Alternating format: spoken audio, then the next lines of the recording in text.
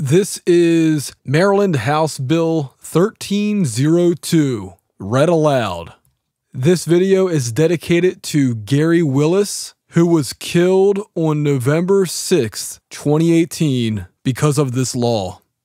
An act concerning public safety extreme risk protective orders for the purpose of authorizing certain individuals to file a certain petition for an extreme risk protective order with a certain court or a district court commissioner under certain circumstances specifying the contents of a petition providing for the confidentiality of a certain court records relating to a petition granting certain civil and criminal immunity to a petitioner who, in good faith, files a petition, authorizing a district court commissioner to enter a certain interim extreme risk protection order under certain circumstances, requiring a commissioner to consider certain factors when determining whether to enter an interim extreme risk protective order under certain circumstances,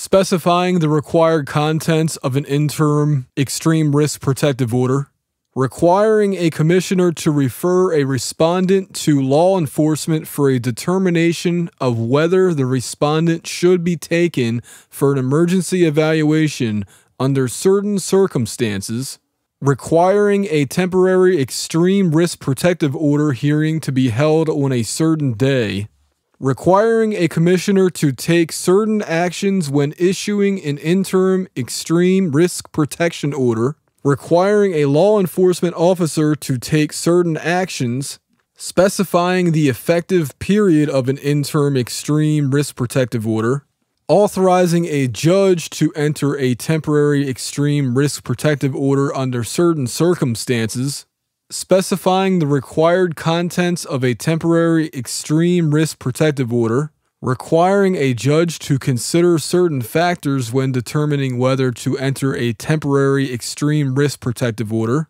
requiring a judge to refer a certain respondent for emergency evaluation under certain circumstances, requiring a certain respondent to be served with a temporary extreme risk protective order at a certain place or in a certain matter under certain circumstances, providing that there shall be no cost to the petitioner for service of a temporary extreme risk protective order, providing for the effective period of a temporary extreme risk protective order, authorizing a judge to extend a temporary extreme risk protective order for a certain amount of time for a certain purpose authorizing a judge to proceed with a final extreme risk protective order hearing instead of a temporary extreme risk protective order hearing under certain circumstances. Establishing that a respondent shall have the opportunity to be heard on the question of whether the judge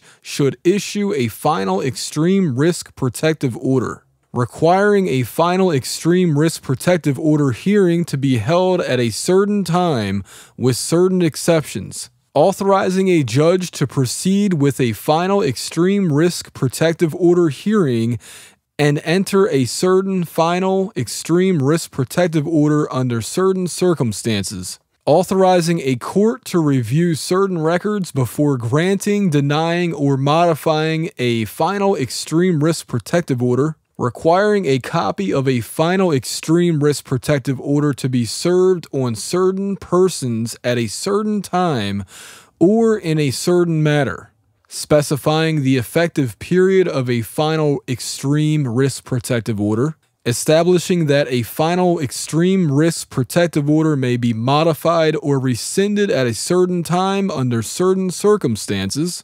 authorizing a judge to extend the term of a final extreme risk protective order for a certain amount of time under certain circumstances, requiring the court to hold a hearing within a certain period of time on a certain motion to extend the term of a final extreme risk protective order requiring the court to keep the terms of a final extreme risk protective order in full force and effect until a certain hearing on a certain motion under certain circumstances, authorizing a court on application of a certain law enforcement officer to issue a search warrant for the removal of certain firearms under certain circumstances, specifying procedures for appeal of the grant or denial of a petition for an extreme risk protective order, establishing certain requirements and procedures for surrendering or seizing firearms and ammunition in accordance with an extreme risk protective order establishing certain requirements and procedures for recovering, transferring, and disposing of firearms and ammunition seized or surrendered in accordance with an extreme risk protective order. Prohibiting a person from failing to comply with an extreme risk protective order, establishing certain penalties, requiring a law enforcement officer to arrest with or without a warrant, and take into custody a person who the officer has probable cause to believe is in violation of a certain extreme risk protective order. Providing that a certain privilege does not exist in a certain extreme risk protective order proceeding under certain circumstances. Providing for the interpretation of certain provisions of this act, defining certain terms, making the provisions of this act severable and generally relating to extreme risk protective orders. Section 1 Article Courts and Judicial Proceedings 9 109 D. There is no privilege if 7 in a criminal proceeding against a patient or former patient alleging that the patient or former patient has harassed or threatened or committed another criminal act against the psychiatrist or licensed psychologist. The disclosure is necessary to prove the charge. Or 8. In a peace order proceeding under Title 3 Subtitle 15 of this article, in which the psychiatrist or licensed psychologist is a petitioner and a patient or former patient is a respondent, the disclosure is necessary to obtain relief. Or 9. In an extreme risk protective order proceeding under Title 5, Subtitle 6 of the public safety article in which the psychiatrist or licensed psychologist is a petitioner and a patient or former patient is a respondent, the disclosure is necessary to obtain relief. 9 109.1 D. There is no privilege if 6 in a criminal proceeding against a client or former client alleging that the client or former client has harassed or threatened or committed another criminal act against the psychiatric mental health nursing specialist or the professional counselor, the disclosure is necessary to prove the charge. Or, number seven, in a peace order proceeding under Title III, Subtitle 15 of this article, in which the psychiatric mental health nursing professional or professional counselor is a petitioner and a client or former client is a respondent. The disclosure is necessary to obtain relief. Or, number eight, in an extreme risk protective order proceeding under Title 5, Subtitle 6 of the Public Safety article in which the psychiatric mental health nursing specialist or professional counselor is a petitioner and a client or former client is a respondent, the disclosure is necessary to obtain relief. And this finally also defines social workers as well. Page 28, 5 601 A. In this subtitle, the following words have the meanings indicated. B. Ammunition has the meaning stated in section 5 133.1 of this title. C. Extreme Risk Protective Order means a civil interim, temporary, or final protective order issued in accordance with this subtitle. D. Firearm has the meaning stated in Section 5 101 of this title. E. 1. Petitioner means an individual who files a petition for an extreme risk protective order under this subtitle. 2. Petitioner includes 1. A physician, psychologist, clinical social worker, licensed clinical professional counselor, clinical nurse specialist in psychiatric and mental health nursing, psychiatric nurse practitioner, licensed clinical marriage or family therapist, or health officer or designee of a health officer who has examined the individual. Two, a law enforcement officer. Three, the spouse of the respondent. Four, a cohabitant of the respondent. Five, a person related to the respondent by blood, marriage, or adoption. Six, an individual who has a child in common with the respondent. Seven, a current dating or intimate partner of the respondent. Or eight, a current or former legal guardian of the respondent. F. Respondent means a person against whom a petition for an extreme risk protective order is filed. 5 602 A1 a petition for an extreme risk protective order shall 1. Be signed and sworn to by the petitioner under the penalty of perjury. 2. Include any information known to the petitioner that the respondent poses an immediate and present danger of causing personal injury to the respondent, the petitioner, or another by possessing a firearm. 3 set forth specific facts in support of the information described in item 2 of this paragraph. 4. Explain the basis for the petitioner's knowledge of the supporting facts including a description of the behavior and statements of the respondent or any other information that led the petitioner to believe that the respondent presents an immediate and present danger of causing personal injury to the respondent or others. 5. Describe the number, types, and location of any known firearms believed to be possessed by the respondent and six, include any supporting documents or information regarding 1. Any unlawful, reckless, or negligent use, display, storage, possession, or brandishing of a firearm by the respondent. 2. Any act or threat of violence the respondent made against the respondent or against another, whether or not the threat of violence involved a firearm. 3 any violation by the respondent of a protective order under Title IV, Subtitle 5 of the Family Law Article. 4. Any violation by the respondent of a peace order under Title III, Subtitle 15 of the Court's Article.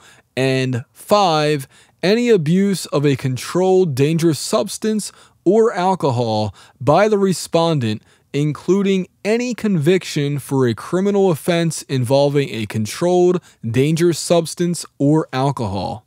2. A petition for an extreme risk protective order may include, to the extent disclosure is not otherwise prohibited, health records or other health information concerning the respondent.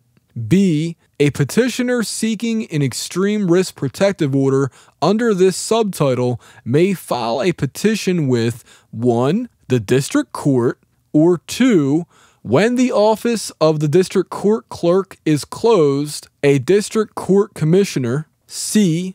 1. All court records relating to a petition for an extreme risk protective order made under this subtitle are confidential and the contents may not be divulged by subpoena or otherwise, except by order of the court on good cause shown. 2. This subsection does not prohibit review of a court record relating to a petition by 1. Personnel of the court, 2. The respondent or counsel for the respondent, 3. Authorized personnel of the Maryland Department of Health. 4. Authorized personnel of a local core service agency or local behavioral health authority. 5. A law enforcement agency. Or 6.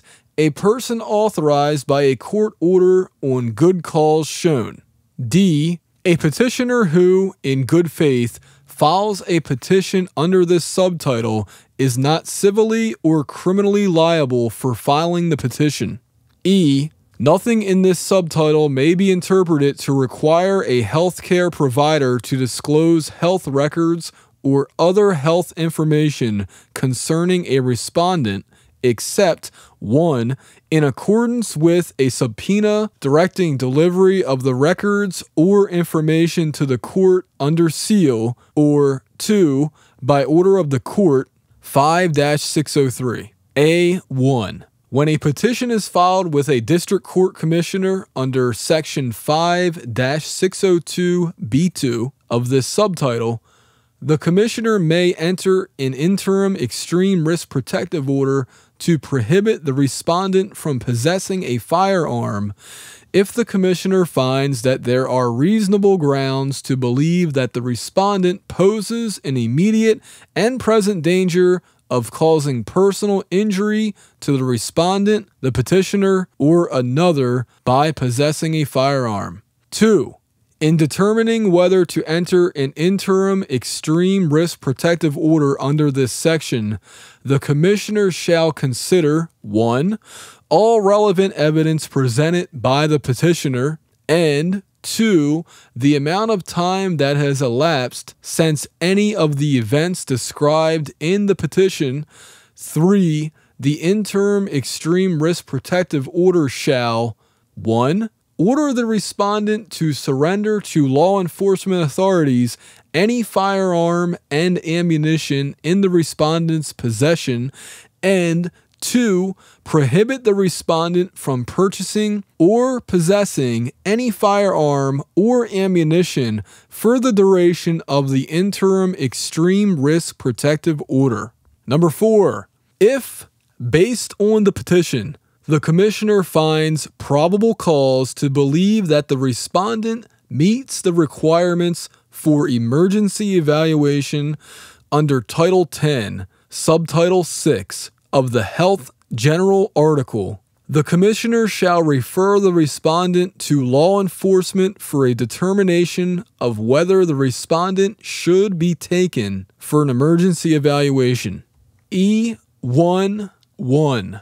An interim risk protective order shall state the date, time, and location for a temporary extreme risk protective order hearing and a tentative date, time, and location for a final extreme risk protective order hearing. 2.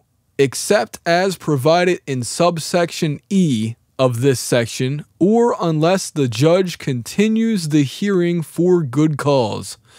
A temporary extreme risk protective order hearing shall be held on the first or second day on which a district court judge is sitting after issuance of the interim extreme risk protective order. An interim extreme risk protective order shall include in at least 10 point bold type 1. Notice to the respondent that 1 the respondent must give the court written notice of each change of address. Two, if the respondent fails to appear at the temporary extreme risk protective order hearing or any later hearing, the respondent may be served with any orders or notices in the case by first class mail at the respondent's last known address. 3. The date Time and location of the final extreme risk protective order hearing is tentative only and subject to change. 4. If the respondent does not attend the temporary extreme risk protective order hearing, the respondent may call the office of the district court clerk at the number provided in the order to find out the actual date, time, and location of any final extreme risk protective order hearing and five, If the respondent fails to appear at the final extreme risk protective order hearing, a final extreme risk protective order may be entered in the respondent's absence and served on the respondent by first class mail. 2.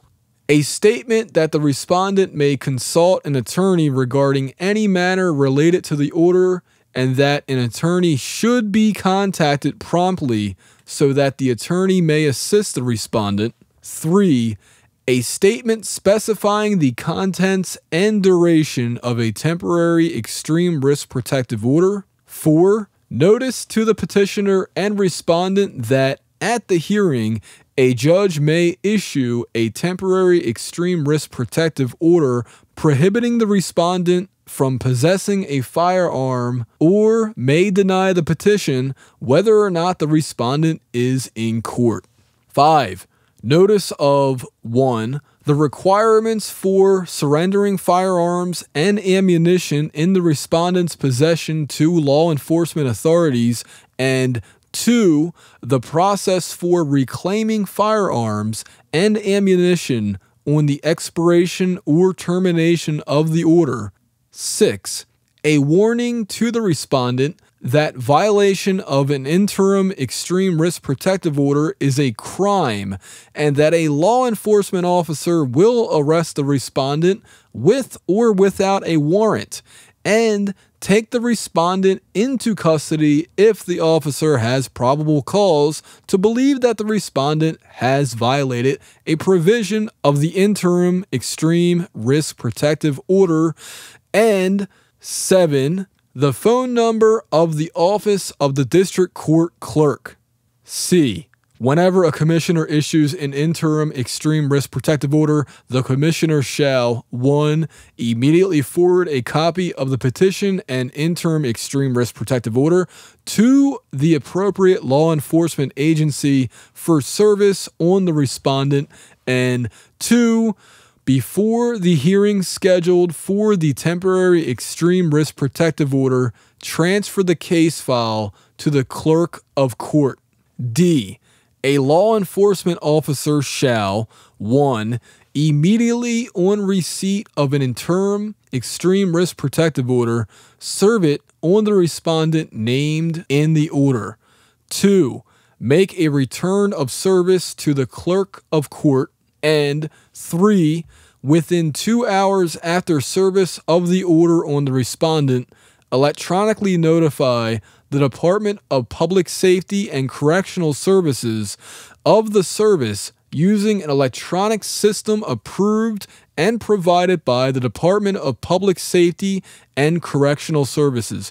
E1 Except as provided in paragraph 2 of this subsection, an interim extreme risk protective order shall be effective until the earlier of 1.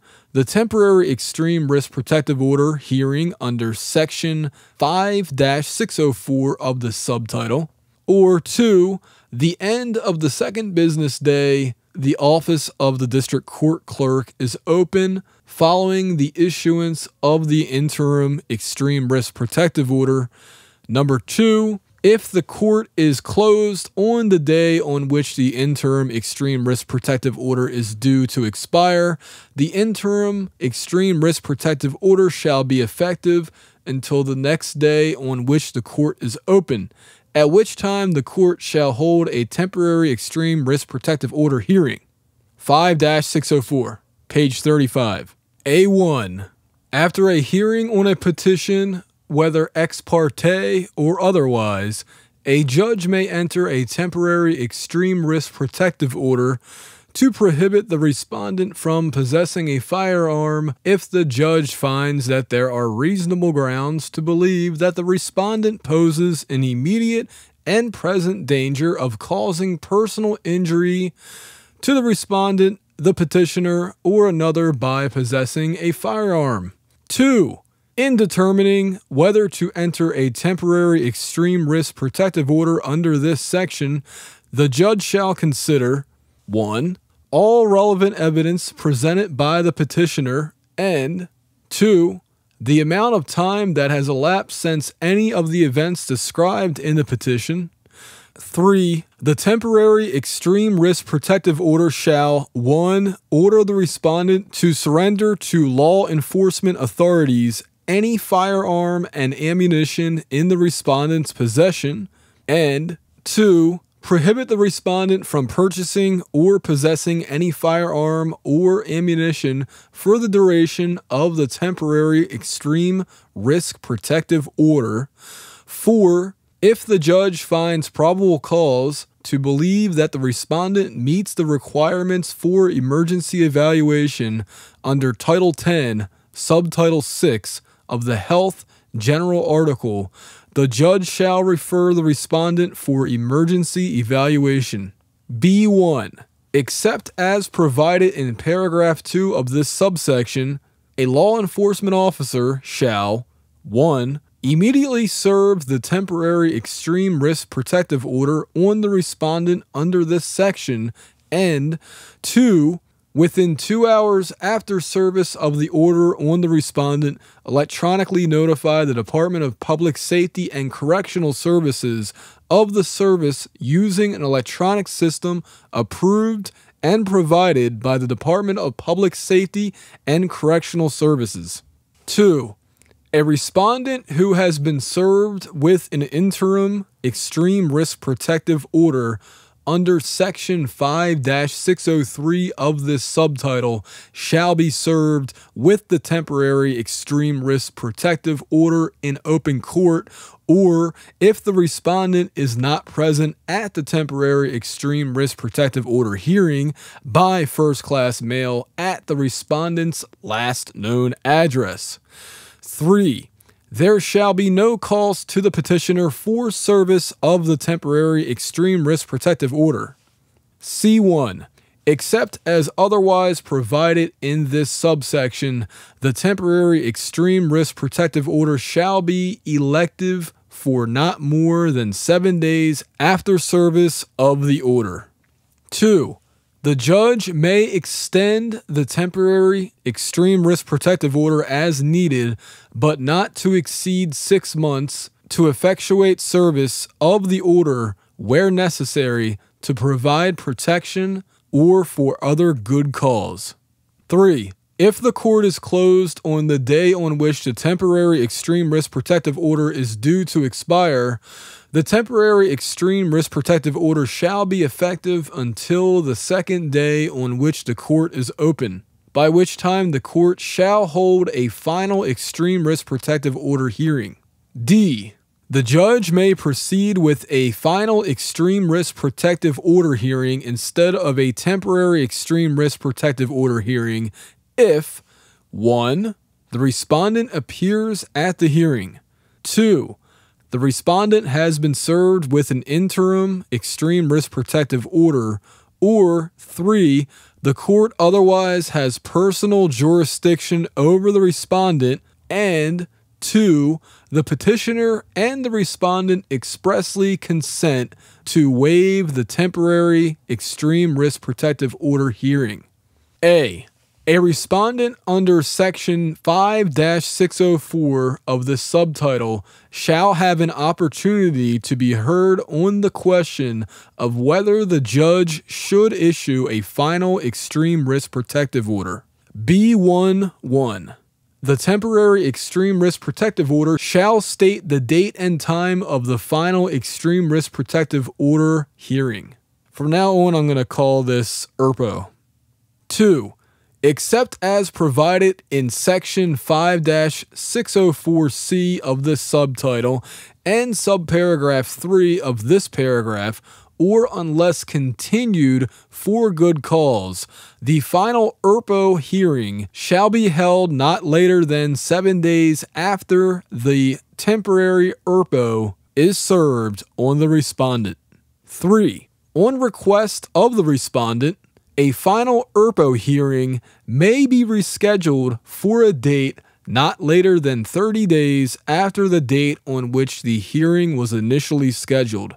The temporary ERPO shall include notice to the respondent 1. In at least 10 point bold font that if the respondent fails to appear at the final ERPO hearing, A final ERPO may be entered in the respondent's absence, and the respondent may be served by first class mail at the respondent's last known address with the final ERPO and all other notices concerning the final ERPO. 2. Of the contents of a final ERPO. 3. That the final ERPO shall be effective for the period stated in the order, not to exceed one year unless the judge extends the term of the order under Section 5 606A2 of this subtitle. 4. That the respondent may consult an attorney regarding any matter related to the order, and that an attorney should be contacted promptly so that the attorney may assist the respondent. 5 of the requirements for surrendering firearms and ammunition in the respondent's possession to law enforcement authorities. 6. Of the process for reclaiming firearms and ammunition on the expiration or termination of the order. And 7. In at least 10 point bold type, that the respondent must notify the court in writing of any change of address.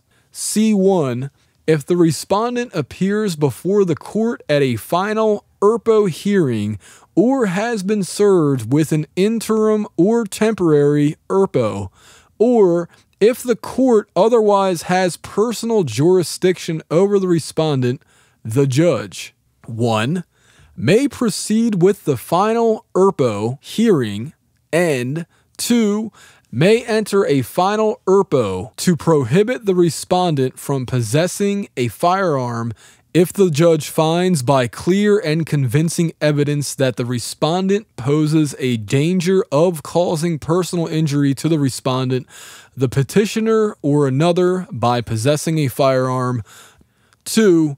In determining whether to enter a final ERPO under this section, the judge shall consider 1 all relevant evidence presented by the petitioner and respondent, and two, the amount of time that has elapsed since any of the events described in the petition.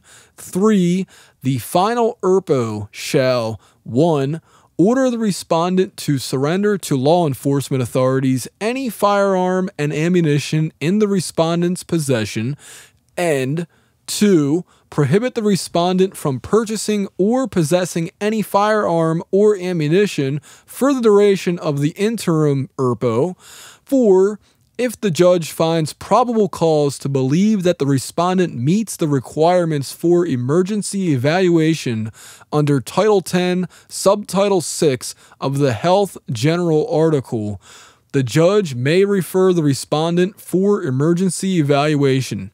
D1 before granting, denying, or modifying a final ERPO under this section, the court may review all relevant open and shielded court records involving the petitioner and the respondent, including records of proceedings under 1. The Criminal Law Article, 2. Title 3, Subtitle 15 of the Courts Article, 3. Title 4, Subtitle 5 of the Family Law Article. 4. Title 10, Subtitle 6 of the Health General article, and 5. This article. 2. The court's failure to review records under this subsection does not affect the validity of an order issued under this section. E1. A copy of the final ERPO shall be served on the petitioner, the respondent, the appropriate law enforcement agency, and any other person the judge determines is appropriate in open court, or if the person is not present at the final ERPO hearing by first class mail to the person's last known address. 2. 1. A copy of the final ERPO served on the respondent in accordance with paragraph 1 of this subsection constitutes actual notice to the respondent of the contents of the final ERPO. 2. Service is complete on mailing. E1. Except as provided in paragraph 2 of this subsection, all relief granted in a final ERPO shall be effective for the period stated in the order, not to exceed one year. 2. A subsequent circuit court order pertaining to any of the provisions included in the final ERPO shall supersede those provisions in the final ERPO. 5 606. A1 a final ERPO may be modified or rescinded during the term of the ERPO after 1. Giving notice to all affected persons and the respondent, and 2. For good cause shown, a judge may extend the term of a final ERPO for six months beyond the period specified in Section 5 605F of this subtitle after 1 giving notice to all affected persons and the respondent, and 2. A hearing. 3. 1. If during the term of a final ERPO, a petitioner files a motion to extend the term of the order under paragraph 2 of this subsection, the court shall hold a hearing on the motion within 30 days after the motion is filed. 2 if the hearing on the motion is scheduled after the original expiration date of the final ERPO, the court shall extend the order and keep the terms of the order in full force and effect until the hearing on the motion. B1.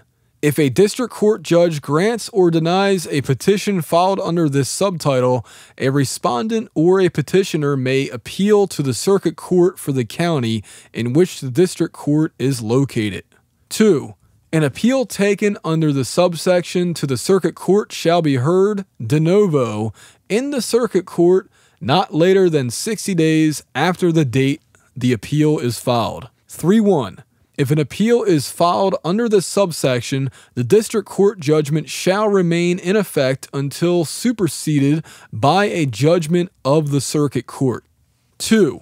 Unless the circuit court orders otherwise, modification or enforcement of the district court order shall be by the district court.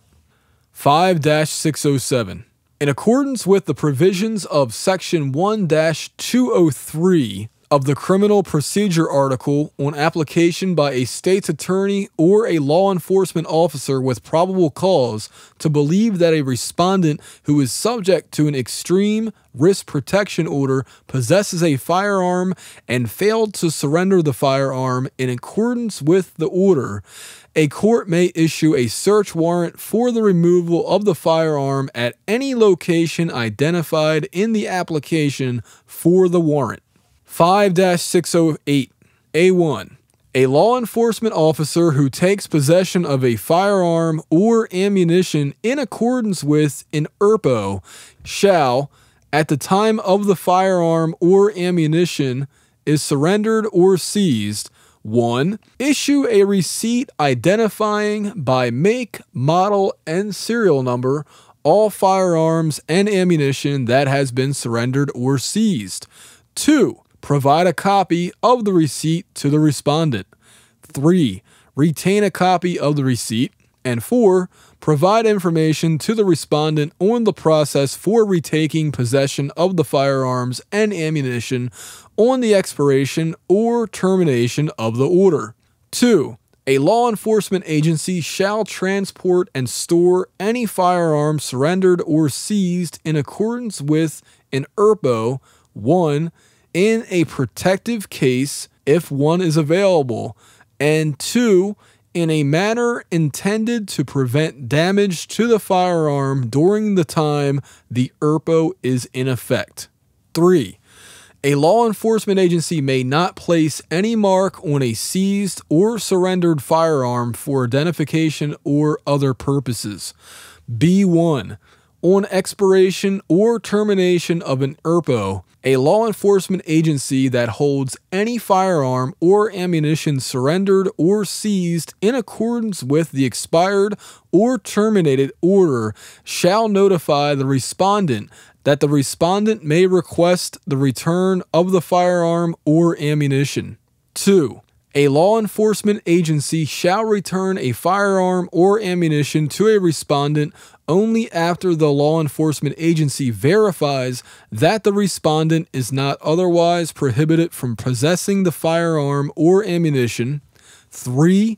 Subject to paragraph 2 of this subsection, on request of the respondent, a law enforcement agency shall return all firearms and ammunition belonging to the respondent not later than 1. 14 days after the expiration of an interim or temporary ERPO. 2. 14 days after a court terminates a final ERPO. Or 3. 48 hours after the expiration of a final ERPO. C1. A respondent who does not wish to recover a firearm or ammunition seized or surrendered in accordance with an ERPO, or who is prohibited from possessing firearms or ammunition under this title may 1 sell or transfer title to the firearm or ammunition to 1 a licensed firearm dealer or two, another person who is not prohibited from possessing the firearm or ammunition under state or federal law and who does not live in the same residence as the respondent, or two, request the destruction of the firearm or ammunition. Two, a law enforcement agency shall transfer possession of a firearm or ammunition to a licensed firearms dealer or a person described in paragraph 112 of this subsection only after 1.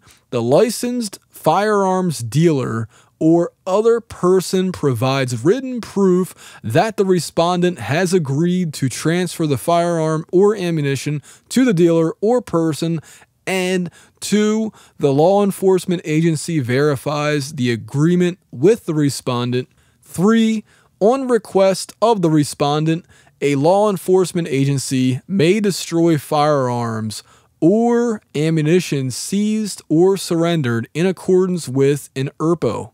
D. If an individual other than the respondent claims ownership of a firearm or ammunition seized or surrendered in accordance with an ERPO, the law enforcement agency shall return the firearm or ammunition to the individual if 1. The individual provides proof of ownership of the firearm or ammunition, and 2. The law enforcement agency determines that the individual is not prohibited from possessing the firearm or ammunition. E. If a firearm or ammunition is not reclaimed within six months after the provision of notice to a respondent under subsection B or this section 1. No party shall have the right to assert ownership of the firearm or ammunition. And 2. The law enforcement agency holding the firearm or ammunition may destroy the firearm or ammunition. 5 609. A. An interim extreme risk protective order temporary extreme risk protective order, and final extreme risk protective order issued under this subtitle shall state that a violation of the order may result in 1. criminal prosecution, and 2. imprisonment or fine or both. B. A temporary ERPO and final ERPO issued under the subtitle shall state that a violation of the order may result in a finding of contempt. 5 610 A. A person who fails to comply with the provisions of an interim ERPO, a temporary ERPO, or a final ERPO under this subtitle is guilty of a misdemeanor and on conviction is subject to 1. For a first offense, a fine not exceeding $1,000 or imprisonment not exceeding 90 days or both, and two, for a second or subsequent offense, a fine not exceeding $2,500 or imprisonment not exceeding one year or both. B. A law enforcement officer shall arrest with or without a warrant and take into custody a person who the officer has probable cause to believe is in violation of an interim, temporary, or final ERPO in effect at the time of the violation.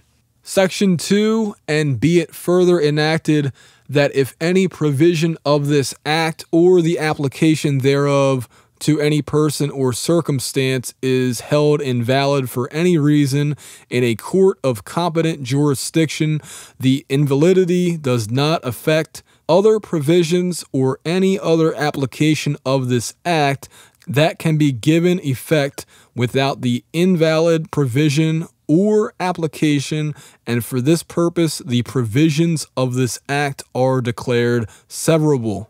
Section 3 and be it further enacted that this act shall take effect October 1st, 2018, approved by the governor April 24th, 2018.